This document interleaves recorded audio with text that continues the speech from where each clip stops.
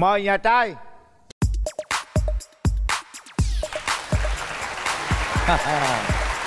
Ê, chào em trai. Dạ chào. Rồi xin mời nhà gái.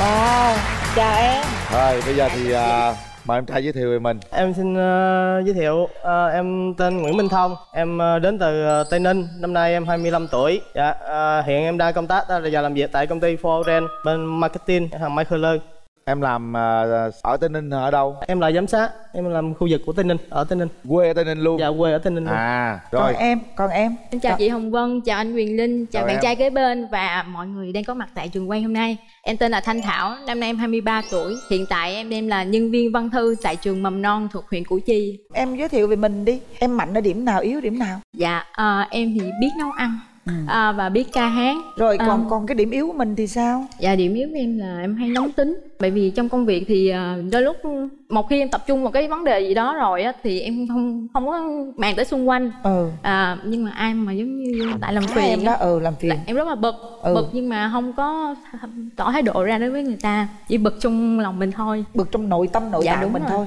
dạ đúng em có tật xấu gì không dạ ngủ nướng ngủ nướng giống chị Không cái có đó không có xấu xấu. em ơi không xấu Rồi em trai dạ. Cái tật xấu của em á đơn giản lắm ăn nhiều à. Vậy là anh hợp với em rồi đó. Nhưng mà em có cái này thì ờ, bạn nữ bên kia nói bạn nữ bên kia khi mà trong người áp lực đầu nhiều á tính em á thì rất là vui vẻ. À, nếu mà bạn áp lực nhiều á nếu mà chế độ nhây á em là nhây số 1 số một. Dạ. Nhưng mà nói em nghe ăn uống nhiều đâu phải là tật xấu đâu. Em à, có ưu điểm gì? ưu điểm của em thì ờ, tính tình thì nó vui vẻ. Nhiều khi mà em vui quá thành xàm. Xàm quá thành nhây. Dạ đúng Nhây rồi. thành khuyết điểm đúng không? Dạ, đúng rồi. Ừ, dễ thương. Không cái đó là tật xấu đó. Nhây với xàm là coi như là dễ đi đến vấn đề mà xung đột lắm mà. Gặp bạn này bạn nóng là bạn im luôn. Dạ bà- em thì ờ, nói chung là em yếu đuối lắm, mong manh lắm. Mong manh à. chết rồi. Có vậy, nào vậy là, là bù trừ rồi anh ơi. Em rất là mạnh mẽ. Tính em rất là men Trời ơi, gái người ta men mạnh mẽ bên đài đây yếu đuối mong manh. Mong manh là sao? Em nói chị nghe coi. Dạ em dễ vợ lắm. Vợ, vợ. em ở chỗ nào? Em nói chị nghe coi nào. Dạ ờ, thì ờ, ai mà la la chửi em là chửi em một tiếng đầu tiên thôi. Tiếng thứ hai sẽ không thấy mặt em đâu nữa hết. Không Dạ. thấy mặt tức là em em ờ, ôm mặt khóc đi trốn chỗ khác hay là em bỏ đi một nước? dạ thì ờ, em thì đến đây cũng khai thiệt thì mốt bạn cho bạn dễ kiếm Ừ. em thì một toilet dưới gầm giường. Dạ vậy thôi. Hả? Một toilet hai là dưới gầm giường. Em mà Dạ. la người ta là người ta chui vô trong đó nằm luôn. Ủa sao có kỳ vậy anh? Chui vô đó để làm gì chổng vậy? Ừ, mình để mình tránh những cái lời mà chửi bới mà. Dễ thương Được, quá vậy. cũng dễ thương. Rồi bên đàn gái có con đường tình duyên thế nào? Kể cho bên đây nghe cái. Dạ em à, trải qua ba mối tình à. Mối tình mà em quen lâu nhất là được 2 năm. Ừ. à, lý do chia tay là do bạn đó muốn tiến tới hôn nhân. Nhưng mà lúc đó em mới vừa ra trường cho nên lại là con một nữa. Chỉ sống với mẹ cho nên à, em chưa sẵn sàng. Ừ. và cái thúc giục là muốn cưới. Cho nên em chọn à, cách chia tay. Mối tình Dạ. thứ hai. Mối tình thứ hai thì em quen được vài tháng. Thì mới phát hiện ra là bạn đó là có con nhưng mà hoàn toàn là chưa cưới vợ.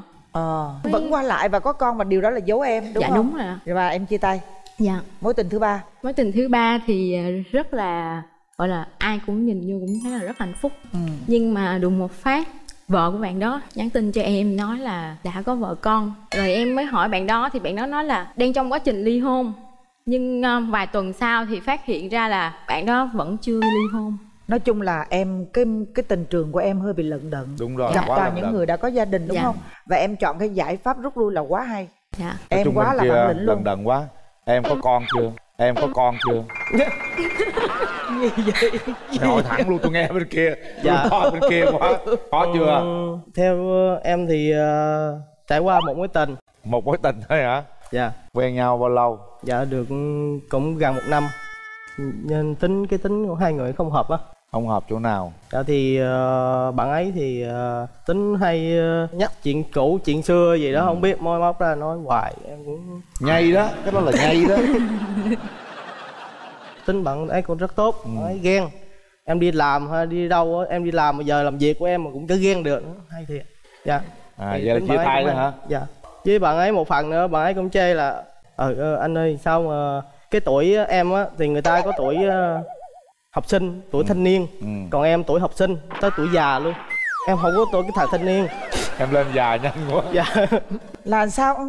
Coi dạ, như là tại vì em đen đó chị. Em đen. Dạ em đen nhìn đó. già.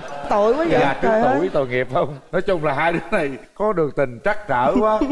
Nói nghe nè em Dạ. còn tin tưởng vào tình yêu không? Hiện tại bây giờ thì tạm tin những cái người yêu trước của em á là có đẹp mã đẹp trai không? Dạ cực kỳ đẹp trai ạ. Có bao giờ em nghĩ rằng cái người tiếp theo em sẽ làm ngược lại? Hơi. tìm một người thiệt là xấu nhưng mà chân tình. Dạ có. Đây cũng hơi đẹp Qua trai coi. à. Để tôi qua tôi coi. Có duyên à. Thì đó để tôi coi nè. Hơi nhây chút thôi. Chào em. Trời cũng được lắm chứ bộ. Duyên dáng. Nhìn là thấy em duyên dáng rồi đó. Ừ, được em được. Ừ. em tưởng tượng cái người bạn gái bên đây của em sao? Bạn ấy dễ thương. Tính bạn ấy thì ờ, hoạt bát vui vẻ. Cái hình mẫu lý tưởng của em là như thế nào? Ngoại hình đó từ từ ai? Em từ từ khởi mi rồi được rồi. Khởi mi. Khởi mi. Ồ, rất nhiều người sao lại có một cái hình dáng lý tưởng là khởi mi? Rất tôi đoán nhiều bên người kia chắc hơn khởi mi. Về cân nặng. Em ơi. Dạ. Em hình dung bạn này bên đây thì sao? Ờm, em có thích một mẫu người đàn ông giống như anh quyền linh không? Dạ. Dạ cũng có. Cũng có phải không? Dạ. Giống như anh quyền linh đen đen như vậy cao to đen mà thơm dạ được. Được phải không? Dạ. Được. Mà tôi thấy giống như cũng ờ, ruột rà cột chèo ở đâu cũng mài mài á chứ không có đơn giản đâu đen nha. đen giống nhau ha. Vậy em đoán thử cái bạn bên đây sao? Em Đoán đoán, đi. đi. em đoán đi. Bạn bên đó chắc là sẽ cao hơn em. À, chắc vậy rồi. Chưa chắc. Ủa chưa ha chưa chắc luôn. Dạ em à, cao 3 mét bẻ đôi ạ. Không biết Ba- bạn trai bên đó cao bao nhiêu mét ạ em nhiêu em nói đi. Ờ, em ờ, để em tính em cộng. Bỏ đâu dài ra anh ơi bỏ Ba- bỏ nó dài hả? Bỏ nó dài Để- mình phải trừ bì lại. Dạ em cao mét sáu. Rồi yên tâm. Dạ, Ta cảm đây ơn em. ba mét bẻ đôi em yên tâm đi ngon lành. Rồi ít tóc hay nhiều tóc? Dạ à, ít tóc nhiều tóc không không có quan trọng mà. Tại vì à, hiện không? tại bây giờ cũng có thuốc để mọc tóc rồi đó chị. Massage Dạ. có liền có ngay và liền nói massage chung là à. chỗ có chỗ không. Ông nói chuyện gì với trời? Bây giờ em không thích cái người bạn trai của em là như thế nào? Em không thích dạ em không thích bạn trai hút thuốc tại vì em không ngửi được mùi thuốc lá. Có không dạ có. Làm mất mặt quá bỏ được không? Dạ được. Bỏ nha. Dạ. hút thuốc nhiều không có tốt nha. Dạ. rồi hứa bỏ. Dạ không có tính lăng nhăng. Có lăng nhăng không? Nó quen Dạ không. mối tình xưa giờ. Ta bỏ rồi. Dạ. không có lăng nhăng được. Với lại à, bạn trai thì em không có cấm nhậu nhưng mà nhậu về thì đi ngủ đừng có nhây. Đừng có lầy có nhậu không dạ có mà trời ơi sao nó làm mất mặt quá vậy? Bỏ nhậu được không? Tại vì em, em đi làm giao tiếp khách hàng á nhiều khi cũng uống một hai chai bia vậy à, một hai dạ. chai thôi ít Dạ. không sao. Còn gì nữa không cưng dạ hết rồi ạ. Ờ, Ừ. được rồi. Như vậy thì à, cặp đôi này bây giờ họ đã nói chuyện rồi. Tôi thấy đàn gái cũng hợp với đàn trai luôn rồi đó. Bây giờ mình hỏi người thân đi đúng ha. rồi đúng rồi. Em đi với ai vậy? Dạ em đi với mẹ em và các chị đồng nghiệp ạ. Chào chào mẹ. à, đàn gái. Chào cô. Xin chào chương trình à, Bạn muốn hẹn hò. Chào MC à, Hồng Dân và Quyền Linh. Dạ chào cô. Là mẹ của à, bé Thảo. Cô thấy à, con rể tương lai nè thấy được không hợp với con gái mình không? Hợp với gia đình mình không? Dạ, Thấy em này cũng nói chuyện cũng hiền rồi cũng được. Cái đó là mẹ cho con quyền quyết định để con chọn bạn để à, tiến tới hôn nhân. Đó. theo cái cảm nhận của của vân á, là mật khẩu rồi đó bật đèn xanh á. Phải không? Chứ còn gì nữa? Thì đó tranh thủ chào, chào cô. đi nói vài câu với cô đi. Nói với đừng cô. nói nhây nha. Con cảm ơn cô. À, con cũng hứa với cô là nếu mà em, con và em mà được ờ, thành đôi thì lúc đó cô ráng lo cho con nữa. Ông hề hước vui nhộn. Sau Hề. đây ông vô kịch phú nhuận tôi đi ông ờ. Em đi với ai vậy? Dạ hôm nay ờ, con đi với ờ, dì tư và em trai. Chào Tư- chị Tư. dạ, dạ, Chào. chào gì em trai ruột á hả sao mặt nó buồn quá lắm hả Dạ xin chào à, anh Quyền Linh, chào, à, Chào chị cô. à, Hồng Vân, dạ và chào em gái ở, ở dạ bên trên. chào chị Và xin chào toàn thể tất cả quý vị trong trường quay. Tôi là dì Tư của Minh Thông. À, Minh Thông thì cũng chân thật quá mà nãy giờ nhận định thấy cháu gái bên đây cũng rất là hiền hậu, chân thật, dễ thương, nhìn coi vui vẻ quá. dạ Mà nghề nghiệp cũng có, rồi lại quê hương xứ sở hai bên cũng cận kề. Dạ. Thành ra dì tư thấy rất là hợp. Thì giờ á giữa hai cháu nhận định đi đây cũng có trước mặt là gia đình.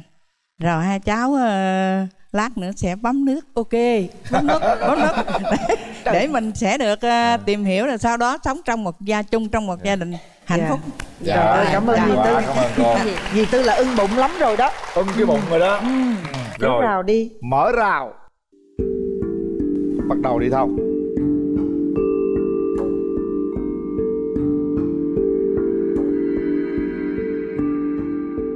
mình có món quà và đặc sản của tây ninh mình.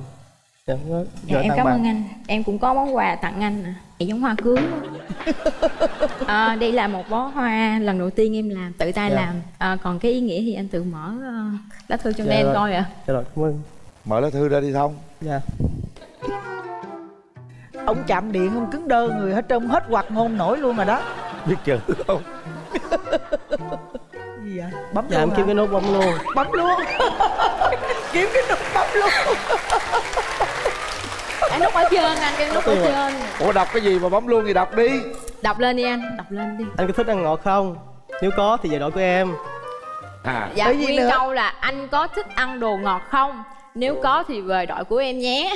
Thật À. rồi em ơi, em thiếu chữ đồ Tại vì em đây đây là chỉ anh có thích ăn ngọt không chứ không có ăn đồ. Rồi đây em sai ăn đồ khác ăn ngọt. Nói nghe nè em lý do gì mà em tặng một cái chùm bông như bông cưới vậy? Dạ, tương lai luôn á chị. Em khẳng định là ngày hôm nay là em sẽ rinh được nàng về dinh đúng không? Dạ, tại vì chương trình nói là đến rước người yêu Em không có nghĩ là đến đây để tìm người yêu Mà em đến đây để rước người yêu. Để rước người yêu luôn. Dạ. trời ơi duyên dáng dễ sợ thiệt á. Rồi cảm nhận về nhau đi hai đứa. À, anh thấy em như thế nào ạ? Ờ, Em cũng dễ thương chân Ờ, thành đi anh. Thật lòng mình nói đi em đúng có rồi. mặt Không, không? thì ờ, anh cũng có thua gì em đâu. Không, thật sự thì ờ, mình mập mình dễ thương mà. Anh có muốn hỏi em gì gì không ạ? Ờ, Em thấy anh sao sao dạ em thấy tính cách của anh thì à, hiền ngoại hình thì cũng dễ nhìn. Tại còn cái em nhìn đây dễ nhìn thôi chứ à, thiệt ra ngoài em nhìn khó khó nhìn lắm. Khó nhìn là sao anh? Ủa? Bụng bự. À, bụng em cũng bự nha cái đó mình giống nhau rồi không em không có quan trọng gì đâu. Tới đây anh thấy em là ok rồi không còn nói để hỏi gì nữa hết á. Em hỏi là nếu như mà mình bấm nút hẹn hò đó thì anh định là trong bao lâu thì mình tiến tới hôn nhân? Tại vì mẹ em cũng mong có cháu lắm rồi. Ừm, nếu mà tính tới hôn nhân thì ờ, chắc cũng khoảng ờ, nửa năm nữa. Nửa năm nữa? Dạ. khoảng nửa năm nữa thì rồi. Nói nghe nè giờ hai đứa đó, thử ra nắm tay nhau coi có điện có đúng có đúng ờ, nhịp không Xong rồi hát rồi cho hả? nhau đúng nghe. một cái là hát một bài Đúng biểu, rồi. biểu hiện cái tình cảm của mình liền. Tiến tới đi minh thông. Cô này là chắc chắn hát hay nè Đúng không rồi. biết anh kia làm sao đó. Đừng giật em giật. Điện mạnh quá anh ơi. Rồi em hết hồn luôn. Điện mạnh quá giật. Thấy ghét không? Duyên À. dáng dễ sợ. Hai nắm tay. vậy nè anh nắm vậy mới đúng nắm hai tay luôn. Đúng rồi nhìn mắt nhìn mắt. Đó có thể hát cho nhau nghe đi. Dạ, à, đến với chương trình thì em cũng có chuẩn bị một bài hát. À, cũng giống như kèm món quà gửi cho anh bài hát được mang tên là quà cho anh. À, những món quà nhỏ bé chưa một tình yêu lớn. Tình yêu đó mãi cho riêng tầng anh. Và em chỉ ước mơ lấy thôi một điều.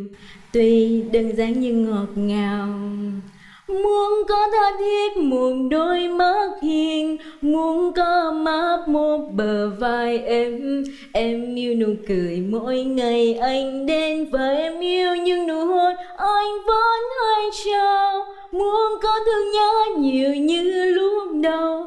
Muốn những câu hứa không hề thay đổi. Tim em luôn cần những lời quan tâm Để hôm nay em biết anh còn yêu em à, sau sau chương trình này em sẽ về sẽ không nghe nhạc nữa. Dạ tại vì ờ, có bạn này hát hay quá rồi không cần nghe nhạc nữa. Bây giờ em đáp lại dạ cho chị. ờ, anh thì tới đây anh cũng ờ, chuẩn bị một bài hát để tặng cho em. Nhưng mà anh hát thì không được hay. Nhưng mà em ráng lắng để mà nghe. Một cuộc đời hiến dâng cho một cuộc tình. Một vòng tay mang giấc mơ đến em từng đêm và anh giữ gió rét không để gió bay qua. Sợ lành em thức giấc bởi anh quá yêu người. Rồi ok về chỗ đi. Bây giờ à, hãy nói với nhau một câu mỗi người một câu chúng ta sẽ tiến hành bấm nút. Bấm nha em. Bấm đi. Anh bấm bên đây nè. anh ơi anh ơi bên trên lên trên. Dạ đúng rồi. Để em đi kiếm em ơi ở trời xạo tí nữa em. tay em ngắn quá.